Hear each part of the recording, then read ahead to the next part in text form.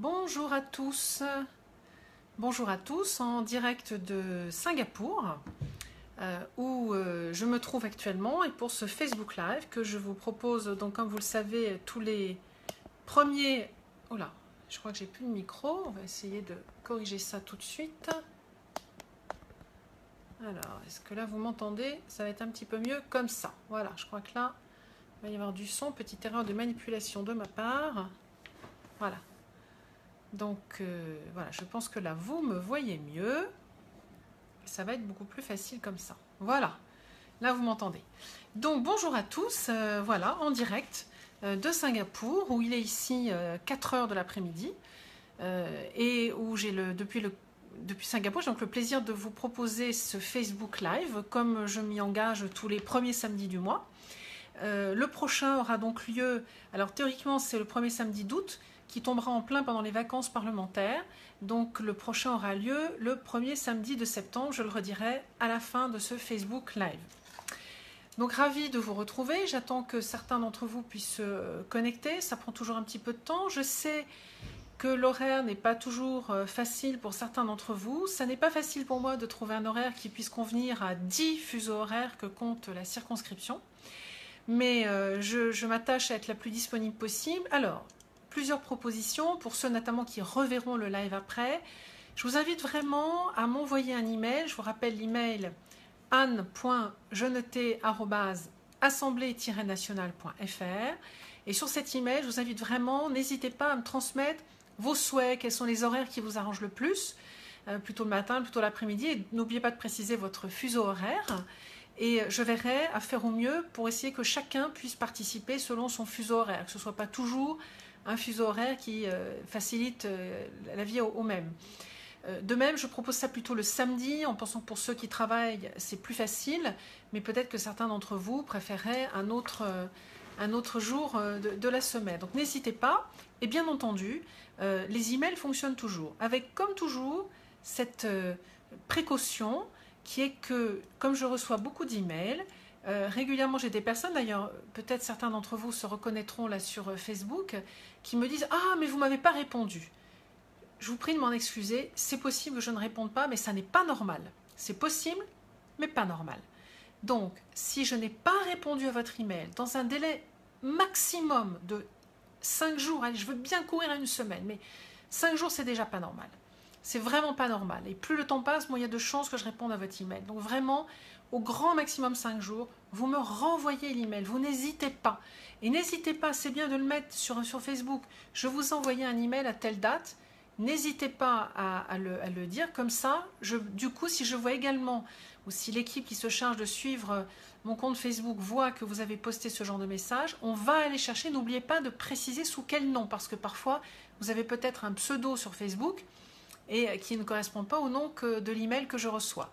Donc n'hésitez pas, quand il y a des choses que vous pensez être urgentes, n'hésitez pas à me relancer, je ne m'en offusquerai absolument pas, et à me le signaler éventuellement, euh, par, soit par LinkedIn, soit par Facebook. Voilà, ça c'est pour la communication, mais je tiens à répondre à chacun d'entre vous. Alors, les sujets que je voulais euh, vous proposer aujourd'hui, euh, le premier sujet dont je voulais parler, je voulais faire une petite explication sur la réforme des institutions qui est en cours, car elle va nous toucher, nous, Français à l'étranger, il y a une partie qui nous concerne. Alors, vous avez peut-être entendu dire que ce lundi euh, après-demain, 9 juillet, le président de la République nous a tous rassemblés au Congrès. Et du coup, comme on sait que Congrès, ça veut dire réforme constitutionnelle, il peut y avoir confusion. Alors, je clarifie. Ce lundi, il s'agit uniquement du discours du président de la République au Congrès il réunit les deux assemblées pour pouvoir s'adresser à elles. Et je suppose qu'il va à la fois faire le bilan de l'année écoulée et annoncer les projets de l'année à venir, comme il l'a fait l'année dernière. Cette possibilité qui est donnée au président de la République de s'exprimer devant la nation, devant ses représentants réunis en congrès, elle existe seulement depuis 2008. C'est à l'époque le président Nicolas Sarkozy qui avait introduit cette possibilité dans notre Constitution le président Hollande, son prédécesseur, ne l'avait fait que pour des événements exceptionnels, notamment après des, attentats terroristes. Le président Emmanuel Macron a souhaité le faire tous les ans à date régulière pour faire le bilan de l'année et annoncer les projets à venir. Donc ce lundi, le congrès, le discours au congrès n'a rien à voir avec la réforme des institutions. Je pensais que c'était important de le préciser. Mais venons-en à cette réforme des institutions qui va nous toucher directement. Alors, elle se déroule en trois morceaux, trois morceaux très importants. Morceau numéro 1, modifier la Constitution elle-même, le texte de la Constitution. Ce texte de la Constitution, il comporte 89 articles. Et euh, alors, j'ai un petit message. Alors, je vais me permettre juste deux secondes de modifier un petit paramétrage que je ne peux pas modifier. Je ne peux pas modifier le paramétrage, donc je crois que parfois vous avez euh, une déformation de l'image, j'en suis désolée. Alors, donc, la Constitution qui comporte 89 articles et nous avons en discussion actuellement à l'Assemblée une loi qui comporte une quinzaine d'articles dont chacun va aller modifier l'un des 89 articles de la Constitution pour retravailler cette Constitution. Ça, c'est le temps 1 de la réforme de la Constitution. La Constitution, c'est un texte soigné, épuré, dans lequel il y a très peu de détails en théorie. Ça donne le cadre du fonctionnement de nos institutions. Ça donne juste le cadre. Pour les détails, il faut aller dans ce qui s'appelle la loi organique. Organique, c'est celle qui organise le fonctionnement de l'État. Et ensuite, un cran en dessous dans la loi ordinaire. Et ces lois organiques et ordinaires, pour pouvoir être mises en application, elles feront l'objet de publications de décrets signés par ou un ministre ou le Premier ministre ou parfois le Président de la République pour pouvoir les mettre en œuvre. Donc, les trois temps, un, le texte constitutionnel qui est actuellement en discussion à l'Assemblée, qui passera au Sénat à la rentrée de septembre, et derrière, nous discuterons ensemble les deux textes de loi organique et ordinaire. Alors, qu'allons-nous trouver dans le texte de la Constitution? Eh bien, nous trouverons, par exemple, le nombre de députés et sénateurs. Euh, attendez, j'ai un tout petit doute en ce moment où je vous parle. Oui, et dans la loi organique, nous trouverons le mode de scrutin qui sera à la proportionnelle, avec une dose de proportionnelle pour les députés. Les sénateurs, on ne change rien. C'est une élection par des grands électeurs qui sont des élus de terrain, les maires, les conseillers généraux. Et nous, à l'étranger, ce sont les conseillers consulaires, vos élus consulaires, qui vont être grands électeurs pour les sénateurs. Voilà, donc ça, les trois temps. Réforme de la loi constitutionnelle, loi organique et loi ordinaire. Donc vous voyez qu'au point de vue délai, là nous en sommes à la Constitution à l'Assemblée, discuter ensuite au Sénat à la rentrée, Derrière, tout de suite, l'Assemblée va se saisir des deux textes organiques et ordinaires, qui sont d'ailleurs déjà déposés sur le bureau de l'Assemblée. Si vous allez sur le site de l'Assemblée nationale, vous trouverez le texte intégral de ces trois lois, la loi constitutionnelle, la loi organique, la loi ordinaire. Et une fois que nous en aurons discuté à l'Assemblée, ça partira au Sénat, puis ça reviendra à l'Assemblée, etc., la navette habituelle. Et au point de vue calendrier, on peut s'attendre à ce que euh, le congrès, le vote au 3 5e au congrès se passe probablement premier semestre 2019. Donc vous voyez que ce n'est pas pour tout de suite. Il faut du temps pour que les choses se mettent en place. Alors du temps justement, euh, c'est notamment ce temps si long pour fabriquer la loi qui a été souvent dénoncé, décrié et qui a conduit à aller vers cette réforme des institutions pour que le temps de fabrication de la loi soit plus court. Alors, juste une mise au point, il y a effectivement des éléments qui vont faire que ça pourra peut-être aller plus vite. Néanmoins, entre le moment, ça c'est aussi un élément que je voulais porter à votre connaissance, entre le moment où une loi est écrite par le gouvernement, proposée par un ministre, et qu'elle elle va ensuite passer différentes revues pour voir si elle est recevable, et ensuite, elle va arriver sur le bureau de l'Assemblée. Puis l'Assemblée va la discuter, puis ça va partir au Sénat. S'ils ne sont pas d'accord entre eux, ça revient à l'Assemblée. Si c'est encore modifié par rapport au Sénat, ça repart au Sénat. Puis là, on s'arrête. Hein. Une fois qu'on a fait chacun deux fois le débat, là, on fait une commission mixte paritaire qui essaie de trouver un accord. Et s'il n'y a pas d'accord, l'Assemblée aura le dernier mot. Puis, la loi sera votée. Eh bien, le temps que tout ceci se passe entre le moment où elle est écrite par le gouvernement et le moment où elle est in fine, au bout du bout du bout, votée pour être prête pour ces décrets d'application, il se passe énormément de temps en procédure ordinaire. Il faut compter un minimum au minimum, minimum de six mois et même peut-être plus. En procédure extraordinaire, comme nous l'avons vu l'été dernier sur euh, la loi de, sortie de l'état d'urgence, euh, là on a pu passer à euh, trois mois. Mais c'est assez rare, ce temps est toujours très long. Donc on accuse parfois l'Assemblée ou, le Sénat derrière de prendre trop de temps dans les débats. Non, les débats à l'Assemblée sont pour les lois de type sortie de l'état d'urgence, les débats sont sur une semaine. La loi sur l'alimentation récemment, c'était une semaine. La loi asile-immigration, une semaine, une grosse semaine qui va jusqu'au dimanche inclus, mais une semaine quand même. Et au Sénat, c'est exactement la même chose. Donc on ne peut pas dire que ni le Sénat d'un côté, ni l'Assemblée nationale de l'autre soient bavards. Le temps est, prévu, le temps est précisément prévu, mais c'est toutes les étapes avant et après qui peuvent prendre du temps et conduire à cette fabrication de la loi qui prend euh, énormément de temps. Voilà, donc je, pensais que c'était important de vous expliquer comment ça se passe, cette réforme des institutions. Alors, est-ce que nous aurons un vote au Congrès au 3 5e ou bien est-ce que nous en passerons par le référendum? C'est beaucoup trop tôt pour le dire. Euh, pour le moment, on entend bien le président du Sénat, Gérard Larcher, euh, qui exprime beaucoup de désaccords avec le projet proposé. Donc, euh, sachant que sa majorité a la majorité au Sénat, on n'est pas prêt d'avoir les 3 cinquièmes. Mais il y a un travail derrière qui est fait. Et puis, chose importante, ces lois qui sont déposées sur le bureau de l'Assemblée, ce sont des projets de loi. Dans notre jargon, on appelle ça des PJL. ce sont des projets de loi et pour le moment, euh, on sait très bien qu'après, elles peuvent être modifiées, amendées. Donc ce n'est pas parce qu'il y a un texte précis qui a été déposé que c'est précisément celui-là qui sera voté. Donc nous avons encore notre mot à dire, nous élus, mais également vous citoyens, vous pouvez nous faire parvenir des suggestions, euh, des idées que vous auriez. D'ailleurs, j'en ai déjà reçu et je tiens à remercier tous ceux qui m'ont euh, fait des propositions. Dans les lois organiques et ordinaires, je vous le disais, il va être question du mode de scrutin. Et euh, je voulais vous dire un mot donc de la représentation des Français à l'étranger.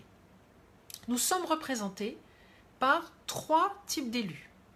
Le premier type d'élus qui sont dans la Constitution depuis 1958, ce sont les sénateurs. Il y en a aujourd'hui 12 sénateurs pour les Français établis hors de France. La réforme voulue par le président de la République fera passer ce nombre de 12 à 8.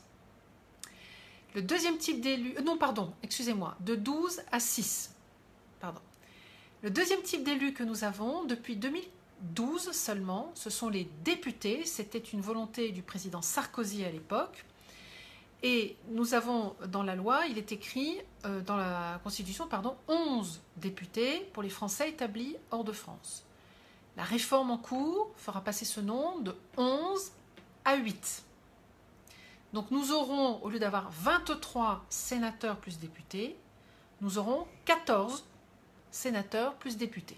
Avec cette fois-ci une répartition entre sénateurs et députés qui est plus en harmonie avec ce qui se pratique habituellement, c'est-à-dire toujours moins de sénateurs que de députés sur un même territoire.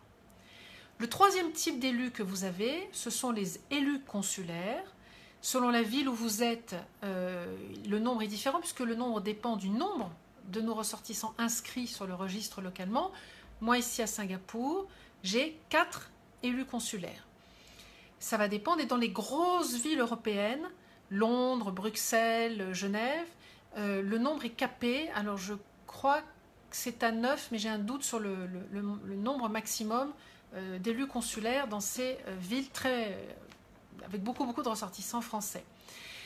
Euh, nos élus consulaires sont élus pour un mandat de 6 ans sur un scrutin de liste. et par exemple, à Singapour, donc ça va dépendre de votre circonscription, la liste est toujours plus longue que le nombre d'élus, de sorte que dans nos communautés, les gens tournent et si un élu doit quitter le pays pour euh, aller dans un autre pays ou rentrer en France, le suivant sur la liste prendra sa place, sans qu'il y ait besoin de convoquer une nouvelle élection. Et c'est seulement lorsque tous les suivants sur la liste sont tous les uns après les autres partis, constatés, ayant quitté le territoire, que là on peut être amené à convoquer une élection partielle. Ça a été le cas il y a quelques semaines à Shanghai. Ça sera le cas bientôt au Qatar. Voilà, cela peut, peut arriver. Donc, trois types d'élus. Et la réforme pour le moment prévue a parlé du diminution du nombre de sénateurs sans changement du mode de scrutin, la diminution du nombre de députés avec changement, c'était le deuxième point dont je voulais parler du mode de scrutin.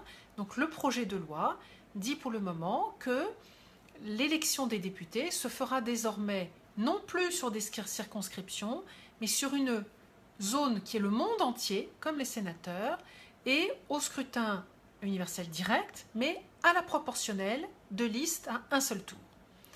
Ça, c'est ce que dit le projet de loi. Donc nous verrons si ce projet de loi est amené à bouger ou pas.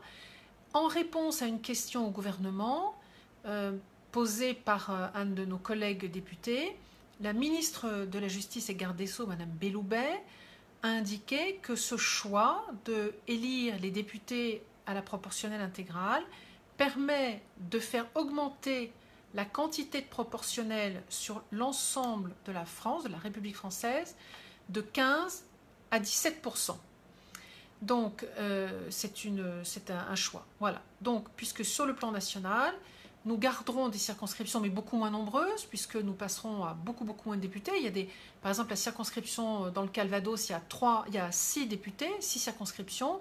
Eh bien, ils passeront de 6 à 3 députés. Donc, euh, c'est une diminution importante. Et par ailleurs, il y aura une liste nationale sur laquelle il y aura 15% des députés qui seront élus à la proportionnelle. Alors, dans ce que j'ai compris, mais ça reste à vérifier, euh, il, s'agirait donc pour nous à l'étranger, nous aurions à l'urne deux euh, bulletins de vote, un pour élire nos députés à la proportionnelle représentant les Français établis de France, et un deuxième bulletin de vote pour élire les 15% de députés à la, proportionnelle sur le plan national. Voilà, ça serait ça l'idée. Tout ça à confirmer, puisque comme je vous le disais au tout début, il y aura des discussions à la rentrée euh, qui vont permettre peut-être euh, d'amender ou modifier la loi. Ça, nous verrons à ce moment-là ce qu'en disent à la fois le gouvernement, nos collègues députés et les députés euh, français à l'étranger qui réfléchissent également à ça. Nous avons tout l'été pour réfléchir, prendre avis et voir si nous souhaitons suivre le gouvernement ou si nous souhaitons faire une autre proposition. Nous, verrons à ce moment-là. Tout, tout, est sur la table, tout est envisageable. Il s'agit de, de peser le pour et le contre de chacun des scénarios. Voilà ce que je voulais vous dire sur la réforme des institutions. Et encore une fois, n'hésitez pas, si vous avez des questions sur cette réforme, contactez-moi par email et je vous répondrai bien volontiers. Alors, que je vois un petit peu les questions qui me sont posées. Alors, donc, une question un petit peu euh, provocatrice que j'entends sur ce qu'on fait concrètement pour améliorer la vie réelle des gens. Alors, je vais donner un exemple à Mademoiselle Kat qui me pose une question.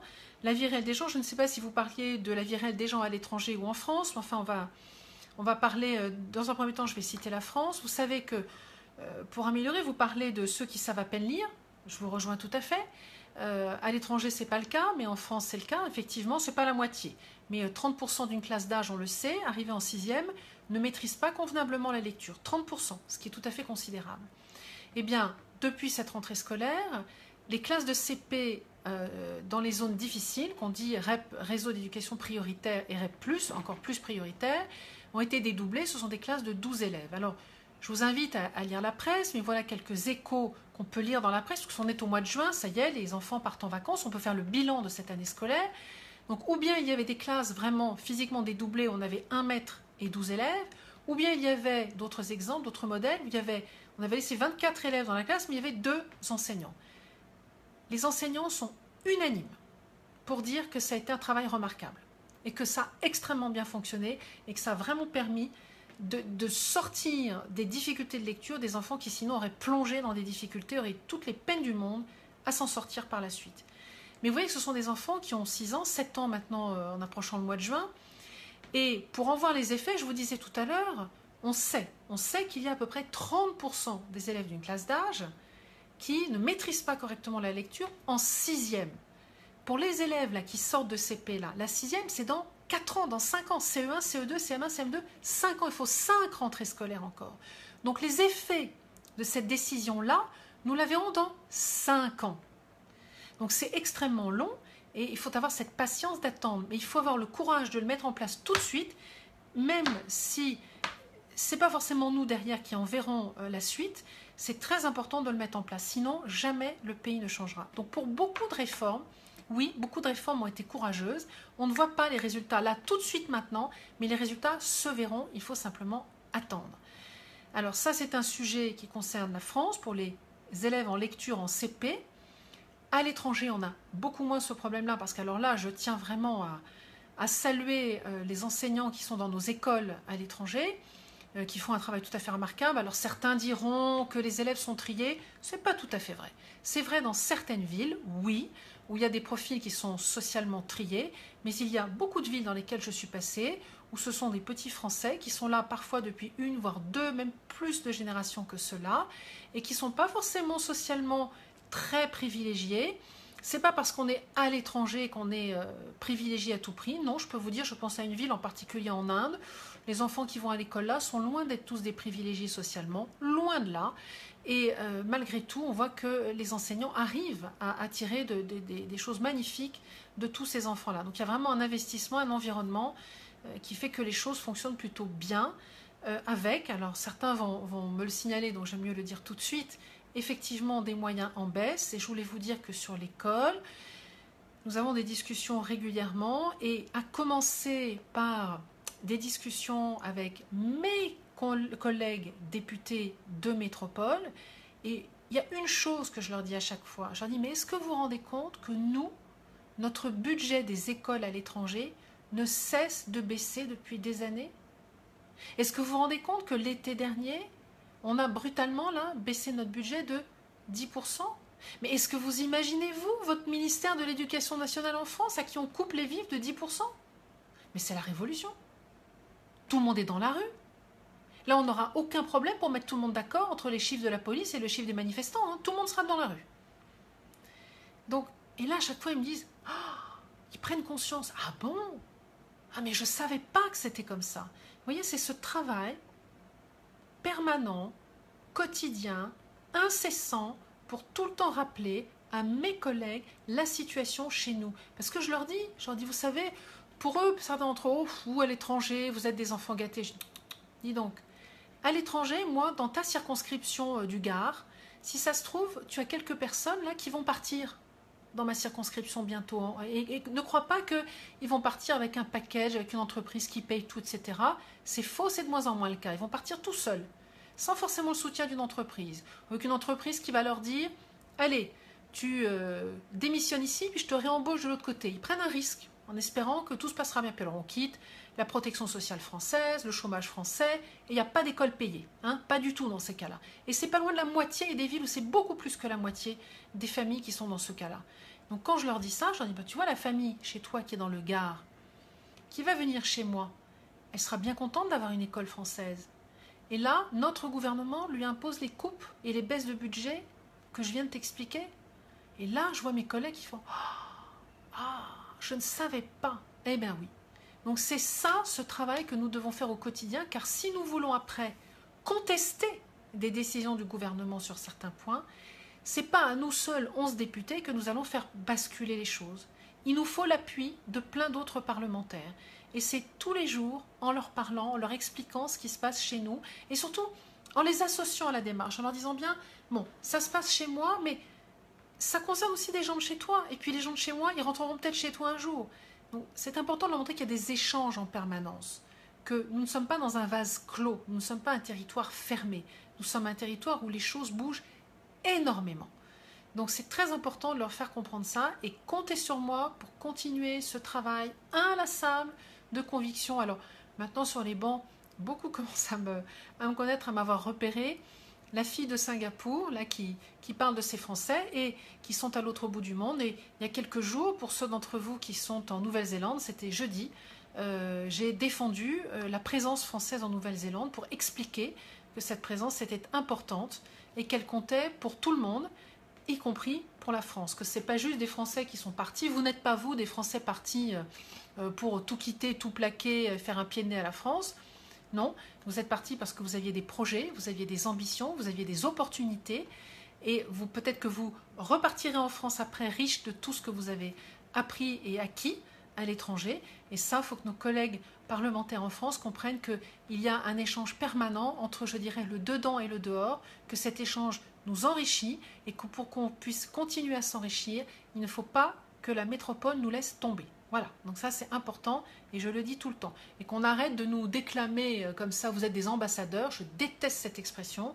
Nous ne sommes pas des ambassadeurs, nous sommes des Français qui vivons ailleurs, qui avons nos particularités, nos richesses, nos atouts, tout comme ceux de métropole et que nous sommes tous d'abord Français et on a besoin de s'aider, de s'épauler et de se soutenir et de se comprendre. Voilà.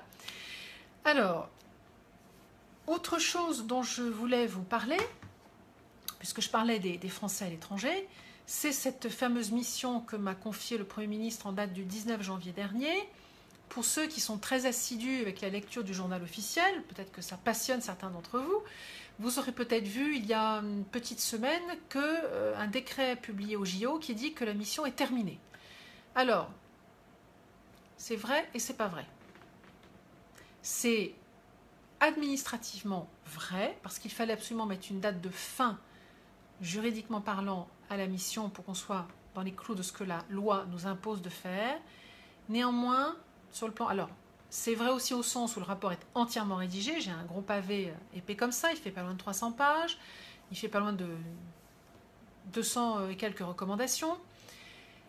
Mais en réalité, je vous ai toujours dit, et je tiens mes promesses, que je ne voulais pas que ce soit un rapport étagère et que je veux des engagements du gouvernement par rapport à ce rapport. Or, si je le remets comme ça en disant au Premier ministre, voilà Monsieur le Premier ministre, regardez, j'ai un beau rapport pour vous, il est bien épais et tout, je le remets comme ça, il me dira merci Madame la députée, il va le poser sur son bureau, avec un peu de chance, il le fait lire par son cabinet, et puis c'est tout. Si je lui dis, ah Monsieur le Premier ministre, j'ai un rapport intéressant pour vous, mais j'aimerais bien savoir ce que vous en pensez d'abord. Je voudrais être sûr qu'on est d'accord. Parce que ça serait quand même dommage que je fasse des propositions et que derrière, euh, le gouvernement ne les retienne pas du tout. Politiquement, ça serait quand même étrange. Les Français à l'étranger attendent beaucoup. Donc ça serait étrange que le gouvernement ne soutienne pas ce qui est fait par un député qui représente ces ressortissants-là. Et les ressortissants, nos ressortissants, vous-même, moi-même, nous ne comprendrions pas que le gouvernement, euh, quelque part, nous laisse tomber. Ça serait un peu comme nous laisser tomber. Donc, j'ai choisi de poursuivre les discussions avec le gouvernement et voir avec eux quelles sont les recommandations qui pour eux sont tout à fait inacceptables, celles qui sont recevables, celles qui sont peut-être modifiables pour être recevables, parce que vous savez, je fais des recommandations, mais je ne suis que député, je n'ai pas forcément le bagage juridique pour être certaine que tout ce que je propose peut aboutir, donc il est important de verrouiller tout cela. Donc c'est ça que je suis en train de faire. Vraisemblablement, avant la fin de la session parlementaire, il y a déjà des orientations qui devraient être prises. Ensuite, vous dire si je pourrais rendre le rapport public tout de suite, dès que les orientations seront connues, ou s'il faudra attendre la rentrée parlementaire, je ne veux pas m'engager là-dessus. En tout cas, sachez que même si vous n'entendez pas parler de ce rapport, pour le moment, il sortira, il n'y a aucun doute. C'est juste maintenant une question de coordination avec le gouvernement, en fonction également d'autres projets qui doivent sortir, d'autres missions qui doivent être rendues. Ça serait par exemple dommage que je rende la mission à un moment où il y a un énorme projet qui sort. Bon là j'ai entendu dire que le plan pauvreté était reporté à septembre, mais vous imaginez bien que si mon rapport était sorti en même temps que le plan pauvreté, la presse aurait parlé du plan pauvreté et pas du tout de ce rapport. Or, mon rapport contiendra des propositions fortes concernant notamment la fiscalité, et le retour en France. Et ça, ce sont deux points pour lesquels il faut pas qu'il y ait trop de bruit euh, autour, j'allais dire, pardonnez-moi, du bruit parasite, d'autres missions, d'autres rapports qui étoufferaient le mien, ça serait vraiment dommage.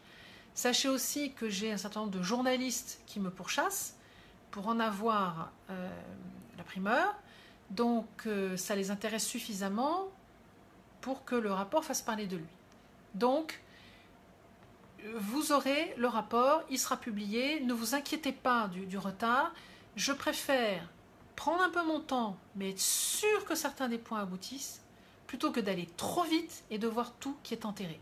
Sachez aussi, pour vous rendre compte au point de vue délai, comme il y a des aspects euh, des propositions qui ont un coût, euh, ça veut dire qu'elles doivent être intégrées dans la loi de finances qui définira le budget de l'État de l'automne prochain. Et cette loi de finances, elle est déjà en discussion, en préparation au sein du gouvernement. Ils sont en train de faire des arbitrages. Donc mes propositions, c'est pour ça que je vous dis que les arbitrages devraient venir plutôt rapidement, parce qu'ils sont en train de les prendre. Et idéalement, dans le planning de travail, il faudrait que ce soit fait avant la fin de la session parlementaire.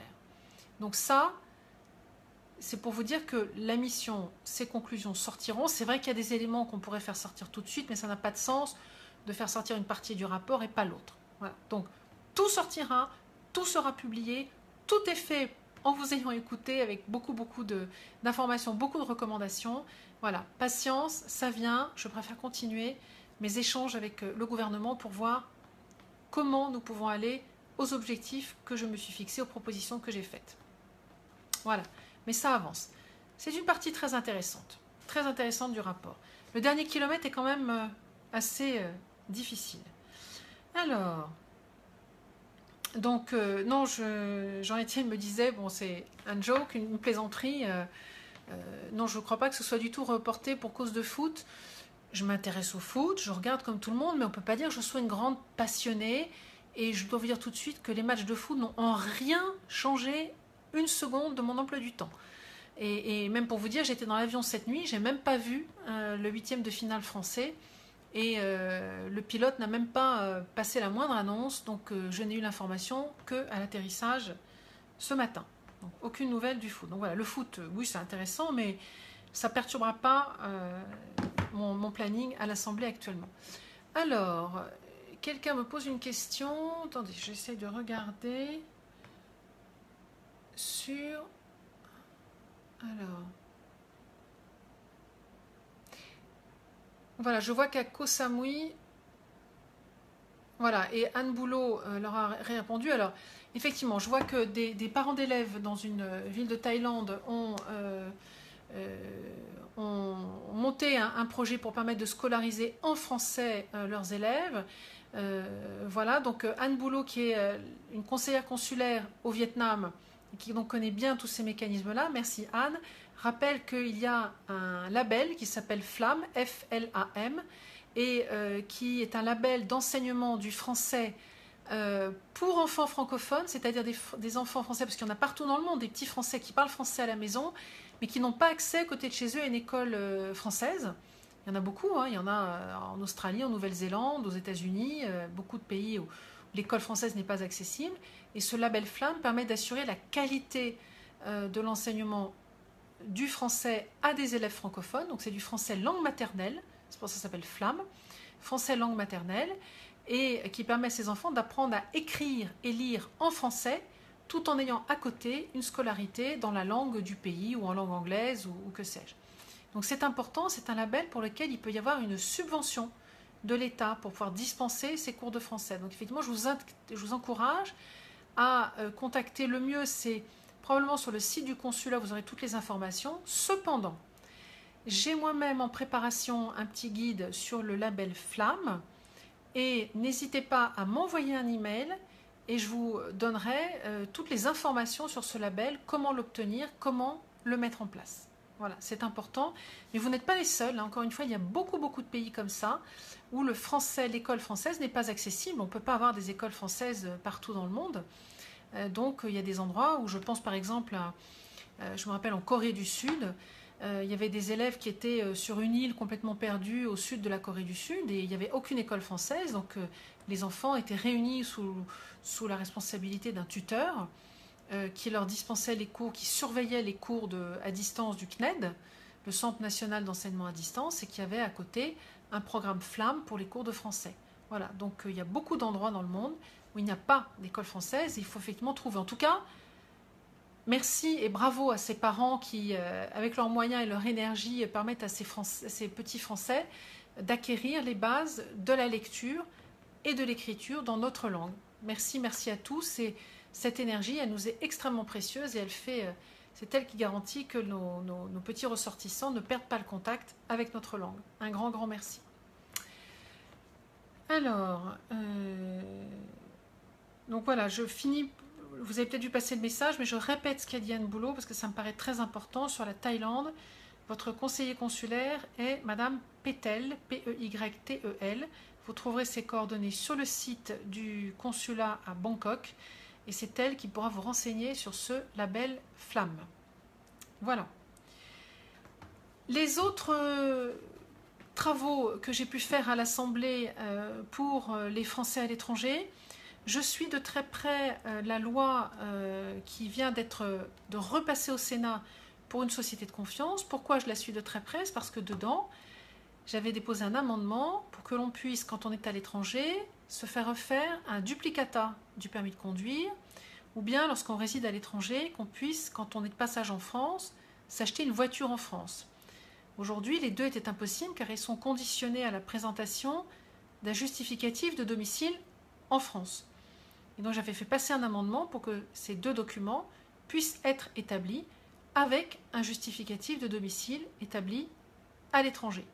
Donc la loi, elle va repartir au Sénat. Ça fait partie de la navette dont je vous parlais tout à l'heure. Et euh, après son passage au Sénat, si le Sénat la vote conforme à ce qu'on vient de voter à l'Assemblée, la loi sera définitivement adoptée. S'ils font encore des modifications, il y aura donc une commission mixte paritaire. C'est seulement après cette commission mixte que l'Assemblée aura le dernier mot et que euh, la loi pourra être adoptée. Voilà, donc vous voyez cette procédure qui est toujours un petit peu longue. Hélas, c'est regrettable, mais c'est comme ça. Donc, c'est seulement après l'adoption de la loi que le décret devrait être publié, et c'est ça que je vais surveiller avec attention, et que vous aurez accès à euh, ces duplicata de permis de conduire et ces certificats d'immatriculation d'un véhicule en France, même si vous êtes à l'étranger. Donc voilà un sujet que je suis de très près. Autre sujet, ou combien important. Alors là, nous avons euh, qui arrive à l'automne, le budget de l'État pour l'année 2019 qui arrive en discussion, et l'année dernière, j'avais été nommé au sein de la commission des affaires étrangères rapporteur pour avis sur deux parties du budget du ministère des Affaires étrangères qui représentent à peu près les deux tiers de son budget. Donc, euh, notre présidente, Marielle de Sarnay, présidente de la commission des affaires étrangères, a souhaité que les rapporteurs pour avis soient reconduits cette année, de sorte qu'ils puissent suivre leur dossier et faire un travail plus approfondi. Donc j'ai déjà pris des contacts, j'ai déjà quelques pistes, je vais continuer à avancer sur ce rapport que je rendrai, il sera rendu en novembre. Donc là, il y a un petit peu de temps, c'est un travail de longue haleine pour lequel j'aurai beaucoup d'auditions à faire. Et euh, ça vous concerne directement parce qu'une partie de ce budget concerne euh, le budget de fonctionnement des consulats, de ce qu'on peut faire dans les consulats.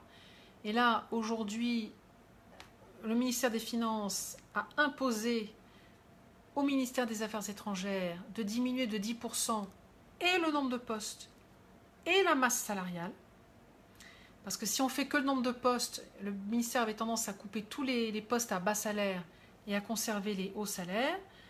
Donc il y avait peu d'impact sur la masse salariale. Et là, il faut également baisser la masse salariale de 10%. Alors, on entend, mais il y a quand même un petit problème, c'est que le budget du ministère des Affaires étrangères, c'est le plus petit budget de l'État. Tout petit. C'est un tout petit, petit budget. Donc si vous voulez, il y a un moment où faire des coupes sombres sans discernement, sans donner du sens à ce qu'on coupe, c'est un peu gênant et c'est dangereux. Quand on est opulent, oui, quand on est gras, quand on a ce qu'il faut pour fonctionner, si on vous enlève un peu de 10% de ce que vous êtes, ça se voit pas.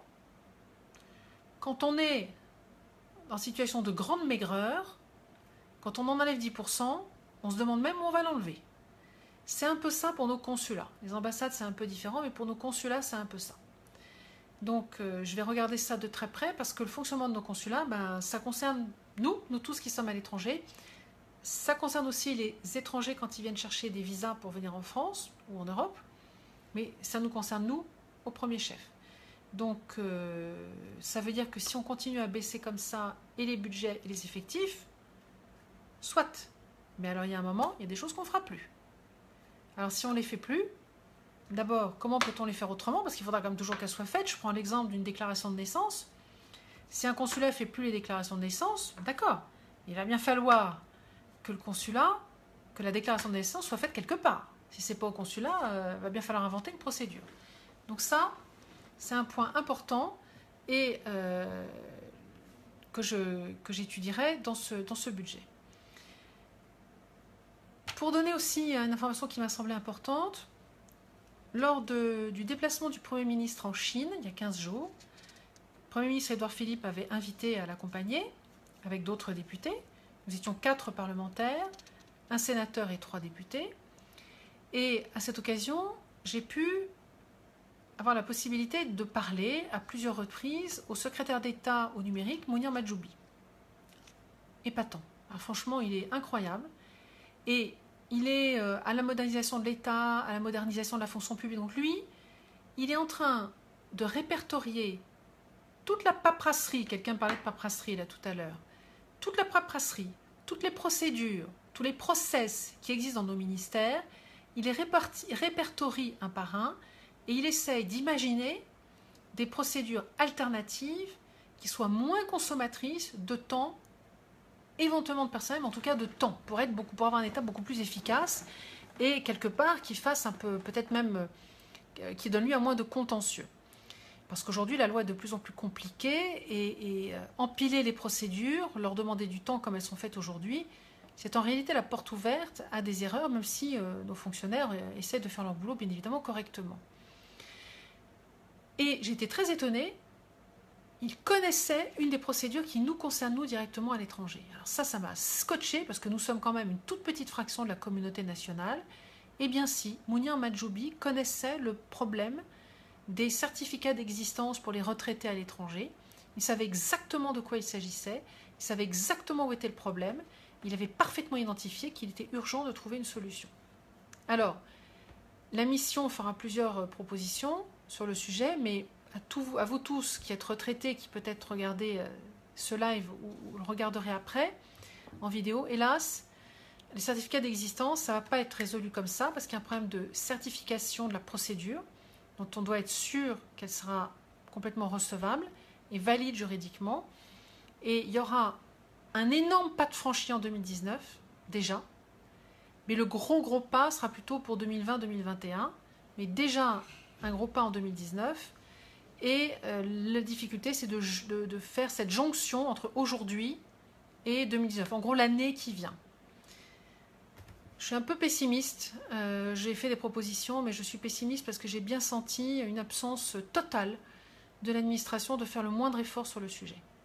En tout cas, ce que je voulais vous dire, c'est que notre ministre, secrétaire d'État au numérique, est parfaitement averti, parfaitement au fait de la situation, est parfaitement soucieux de la modifier et de sortir de l'imbroglio. Donc euh, il m'a beaucoup beaucoup épaté. Donc voilà, les sujets des Français de l'étranger n'échappent à personne et continuent d'être portés. Dans les sujets qui vont être euh, discutés prochainement, à l'Assemblée, nous discuterons donc essentiellement de la réforme de la Constitution, et ensuite, nous aurons un dernier texte de loi qui va revenir la toute dernière semaine de juillet. J'ai oublié quel était ce texte de loi qu'on a déjà discuté, qui revient du Sénat. Euh, je crois que c'est la loi sur les violences sexistes et sexuelles, mais j'ai un petit doute. Et ensuite, les vacances parlementaires commenceront le 2 août pour s'achever euh, fin août, au bout de, de trois semaines, puisque nous allons reprendre les travaux en commission assez vite. Et euh, la, rentrée parlementaire en tant que telle, qui l'année dernière avait eu lieu vers le 15 septembre, cette année aura lieu le 4 septembre. Donc c'est quand même beaucoup plus tôt. Et les, travaux en commission commencent toujours une semaine avant. Donc ça fait de relativement courtes vacances. Le grand projet dont vous entendrez parler euh, dans les semaines à venir et à la rentrée, c'est une énorme loi, un pavé qui fait 900 pages, qui est la loi Pacte, euh, programme pour l'activité, la croissance et la transformation des entreprises. Euh, un gros gros projet qui porte beaucoup d'éléments en lui, qui est extrêmement intéressant et notamment qui va porter en lui le fait de permettre aux salariés d'une entreprise d'être associés aux résultats et d'avoir des participations. Et ça, c'est un projet que je trouve extrêmement intéressant. Il y a quelques entreprises que je ne nommerai pas, dont je ne donnerai pas le nom, mais dont vous comprendrez de qui il s'agit, une grande entreprise qui vend du matériel de sport en France, qui fait ça déjà, et ça marche très bien pour euh, motiver les employés, les associer aux, décisions de la direction. Donc pour moi, c'est un projet extrêmement euh, intéressant et porteur que je suivrai de très près, avec toujours mon œil qui est de dire qu'est-ce qui, dans ce projet, peut intéresser la France dans le monde, et notamment l'export de nos entreprises et la présence de nos entreprises françaises à l'étranger. C'est toujours un angle que je conserverai. Dans les projets que je mène également actuellement, je vous ai parlé du rapport pour avis, je vous ai parlé de ce regard sur la, loi Pacte. Je prépare également pour l'OPEXT, l'Office parlementaire d'évaluation des choix scientifiques et technologiques, deux notes. Une sur l'huile de palme, une note strictement scientifique dans laquelle je ne fais qu'apporter les informations scientifiques sur l'huile de palme. C'est en gros, que savons-nous aujourd'hui de l'huile de palme? Ça c'est très important, sans émotion, sans parti pris, sans dire c'est bon, c'est pas bon. On en est où? Qu'est-ce qui est prouvé, démontré? Qu'est-ce qui manque de preuves et de documentation et mériterait d'être documenté? C'est ça que je suis en train de regarder et je pense publier cette note euh, à la fin du mois de juillet.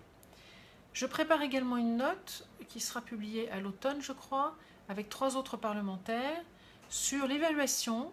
On va porter un regard euh, analytique et critique sur les agences d'évaluation euh, européennes des produits phytosanitaires. C'est dans la suite de la polémique du glyphosate.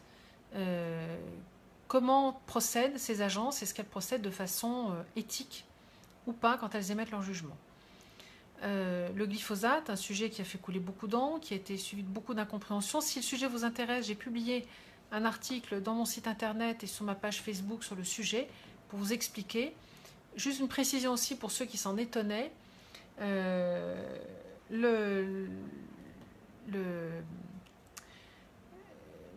sur le glyphosate, euh, au moment du vote, j'étais en déplacement à l'étranger, je ne pouvais pas voter, je n'étais pas présente dans l'hémicycle car j'étais en déplacement. J'avais sur le projet, sur la loi, donc l'amendement, le fameux amendement glyphosate qui est passé à 2h du matin, je n'étais donc pas en hémicycle, j'étais à l'étranger. Lorsque le vote définitif de la loi a été voté, euh, j'avais ce qui s'appelle une délégation, c'est-à-dire que j'avais donné procuration à quelqu'un, et pour une raison que j'ignore, ma délégation n'a pas été prise en compte. Ça, euh, je n'y peux rien, je ne sais pas pourquoi. Voilà, mais en tout cas, j'avais euh, organisé, je m'étais organisé comme le demande le, groupe politique pour pouvoir voter. Euh, une question un petit peu euh, polémique.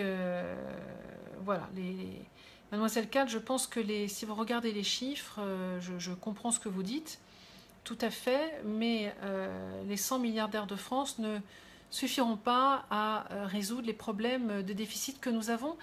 Mais je voudrais aussi ajouter une chose, parce que ça c'est très important. Tout n'est pas une question d'argent. Lorsqu'on voit le fonctionnement de l'État, je vous assure que si nous avions un État plus efficace, ça serait source d'énormément d'économies. Et que le pire serait dans un certain nombre de situations que de donner de l'argent sans réfléchir, sans donner un objectif précis, alors qu'en fait, l'argent qu'on a peut suffire. Pas pour tout. J'ai pas dit que c'était pour tout comme ça. Mais sur le fonctionnement de l'État, il y a un certain nombre de procédures qui gagneraient en efficacité si on les améliorait. Parfois, il faut complètement les chambouler. Mais ça fonctionnerait vraiment, vraiment mieux. Il faut savoir aujourd'hui, je prends l'exemple de la collecte des impôts en France qui marche plutôt bien. À l'étranger, la collecte des impôts est un peu compliquée pour les Français non résidents qui touchent des revenus en France. Et euh, un certain nombre de Français n'ont pas accès, de contribuables n'ont pas accès à l'information précise parce qu'elle est, elle est tellement complexe. Elle est là, l'information sur le site, mais elle est très complexe. Elle est écrite, ça, ça fait partie des recommandations, je peux vous le dire, elle est écrite dans un langage administratif qui est absolument incompréhensible. Et il est urgent qu'elle soit traduite en langage naturel qu'on se comprenne, la langue qu'on parle là ensemble en ce moment. Donc, les Français, les contribuables ne savent pas, ne cochent pas les cases comme il faut, se retrouvent à payer trop d'impôts. Que se passe-t-il derrière? Eh bien, ils rentrent dans une procédure de contentieux. Or, un contentieux, qu'est-ce que c'est? C'est beaucoup de temps pour l'administration, pour l'instruire, ce contentieux, et pour le pour l'arbitrer à la fin. Donc, franchement, l'État a tout à gagner à rendre son fonctionnement plus efficace pour diminuer au maximum toutes les sources de contentieux. Et là, en l'occurrence, que l'histoire que je vous raconte, c'est l'histoire d'une procédure qui était mal comprise par le contribuable, qui n'a pas fait ce qu'il fallait et qui essaye ensuite, a posteriori, de faire valoir ses droits. On l'a dans plein de domaines. Donc ça, c'est important de faire diminuer le nombre de contentieux. Ce n'est pas une question d'argent, c'est une question d'efficacité et d'organisation. Ça, c'est très important. De la même façon, j'ai un exemple. C'est un, on n'en fait peut-être pas une généralité, mais d'un collège qui se trouvait dans le 93 en Seine-Saint-Denis en zone d'éducation prioritaire, zone violence, ce qu'on appelle aujourd'hui les zones REP+. La principale de cet établissement me disait à l'époque qu'elle ne manquait pas d'argent pour faire tourner son établissement dans le 93. Au contraire, elle n'arrivait pas forcément à dépenser tout le budget qui était mis à sa disposition. Mais que les difficultés qu'elle rencontrait n'étaient pas d'ordre financier, mais étaient d'ordre humain. Avoir tous les profs qu'elle voulait. On sait bien, il y a beaucoup de profs qui n'ont pas très envie d'aller dans ces établissements-là. Les profs qui se retrouvent en arrêt maladie, on sait bien, parce que les conditions d'enseignement sont extrêmement difficiles. Les difficultés de relation avec les familles, qui sont extrêmement consommatrices de temps les comportements des enfants qui sont extrêmement consommatrices de temps. Donc elle me disait, c'est pas une question d'argent. C'est une question de moyens humains, d'organisation du travail, de façon dont on se répartit les tâches, d'interaction les uns avec les autres. Voilà, donc tout n'est pas une question d'argent et l'argent ne résoudra pas tout. Ça y contribue, mais ça ne résout pas tout. Il ne faut pas se dispenser en parallèle d'améliorer notablement nos procédures. C'est extrêmement important. Sans quoi, l'État n'arrivera pas à se réformer. Et vraiment, je peux vous dire qu'il y a beaucoup de choses qui sont en cours pour réformer euh, l'État. Euh, et je pense par exemple à euh, le site qui s'appelle modernisation.gouv.fr, qui propose plein de, pistes pour que les fonctionnaires s'emparent eux-mêmes des problèmes et essayent de les modifier. Dans les consulats où je suis passée, moi j'ai vu plein d'agents de l'État quelques-uns qui étaient tout à fait démotivés, enfin démotivés non, ils sont tous motivés, je vais, j'ai corrigé, ils sont tous motivés, mais ils ont un travail qui n'est pas facile, avec des outils qui sont d'un autre âge, avec, euh, voilà, un exemple où là en revanche il faudrait mettre un peu d'argent. Les outils informatiques de nos consulats, c'est juste, euh, je dirais pas que c'est le paléolithique, mais ça n'en est pas loin.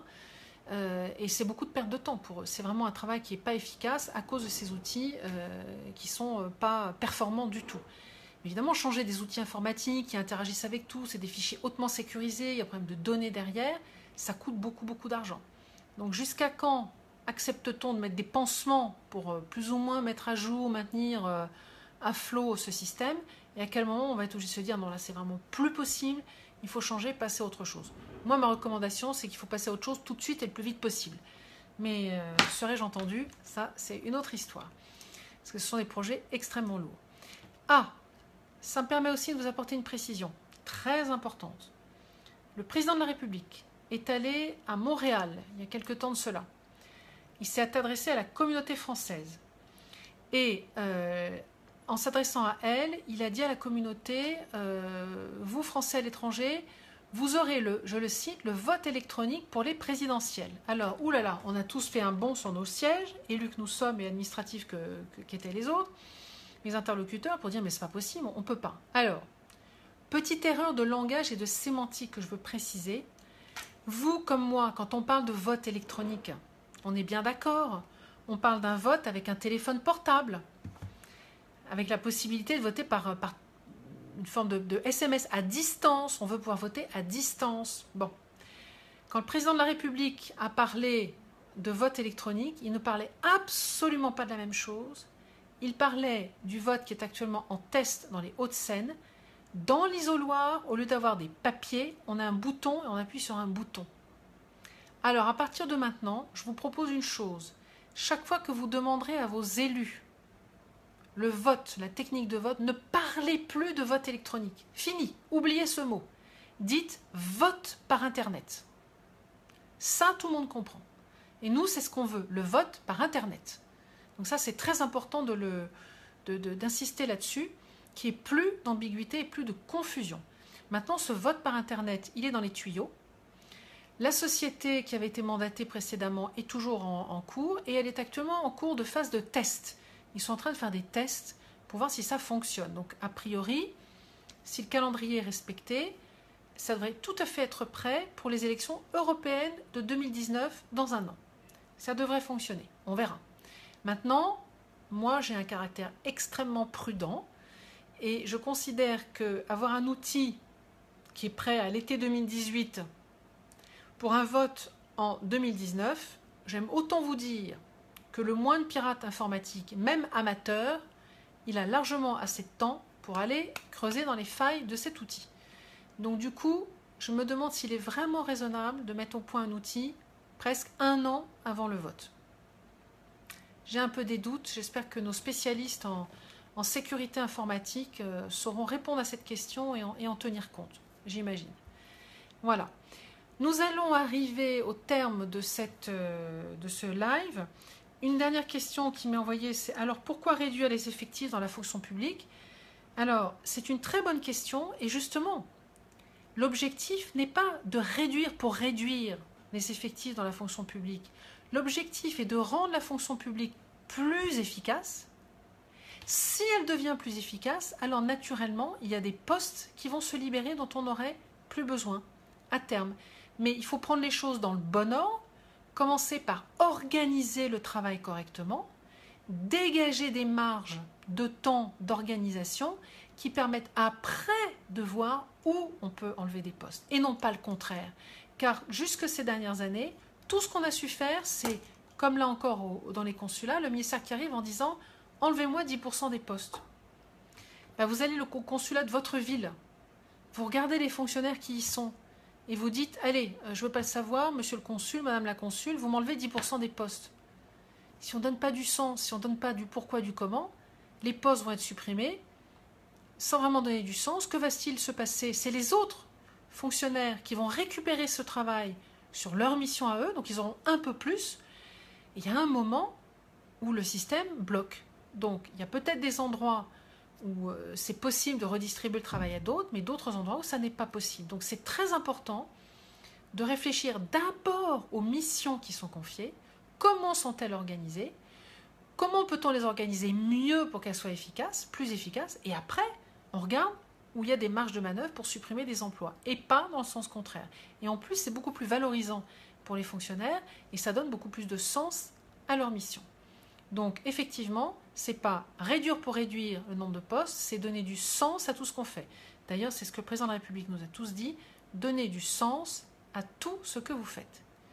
Mais écoutez, aujourd'hui, le sens que je voulais donner à ce live, c'était de pouvoir avoir un contact avec vous, ceux qui sont là en direct et ceux qui regarderont à nouveau le live en différé.